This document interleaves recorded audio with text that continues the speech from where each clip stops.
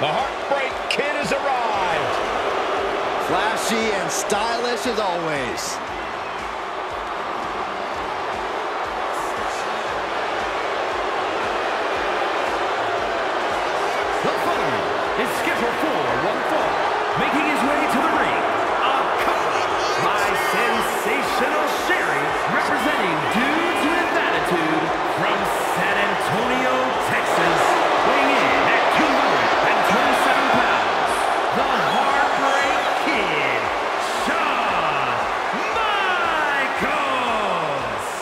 Looks like Michaels is brimming with confidence, as usual.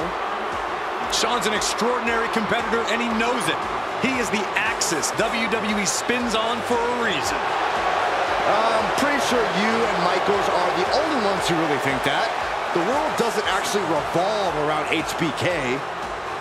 Michaels carries himself like a winner because that's what he is.